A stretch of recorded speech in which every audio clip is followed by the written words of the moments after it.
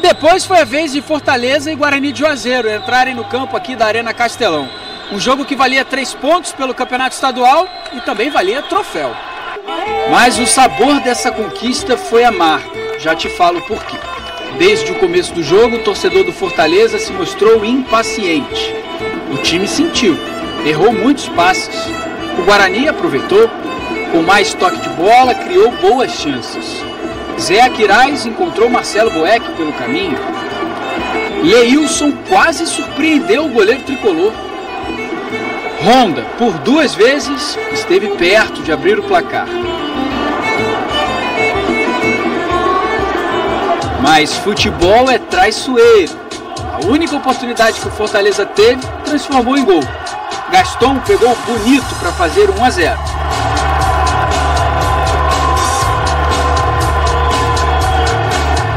Jogo morno do primeiro tempo ficou frio no segundo. As vaias aumentaram e o placar permaneceu 1 a 0 Fortaleza. Mas nem os três pontos pelo estadual e nem o título da Taça dos Campeões deixaram os tricolores satisfeitos.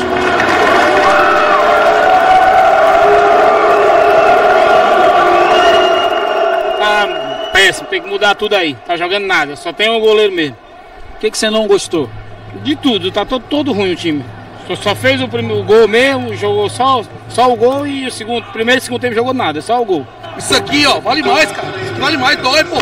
Fortaleza todo ano, pô. Decepção, cara. De taça de taça de quê? Não jogou nada, pô. Não jogou nada o time. Pelo jeito, só o goleiro Marcelo Boeck escapou das reclamações. Por aí você tira. Se o melhor do time é um goleiro, tá brigando para se defender. A gente tem a noção que não jogamos bem. Agora no futebol eu prefiro jogar mal e ganhar sempre do que jogar, fazer, fazer um espetáculo e perder ou empatar. Quando a gente escolheu vir para aqui, a gente sabia da pressão. Né? São oito anos que o Fortaleza está nessa situação e a gente vai carregar com isso. Aqui tem homem, todo aqui, todo grupo é homem, todo mundo assume essa responsabilidade. Ninguém é menino aqui, mas a gente pega essa responsabilidade, gostamos dela e vamos em frente que a gente vai conseguir esse acesso. Não jogamos bem. O importante hoje foi o resultado. O resultado deixou o time na vice-liderança.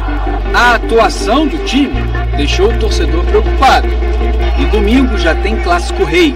E agora é, fechar cada vez mais o elenco, se conscientizar que nós temos que melhorar, para que no domingo é, possamos, junto com o nosso torcedor, fazer um grande jogo e conseguir é, sair vitorioso no clássico, que é uma partida que te dá confiança para o restante da, da temporada. Foi uma quarta-feira cheia, num castelão vazio. A noite começou com incentivo e terminou com vaias.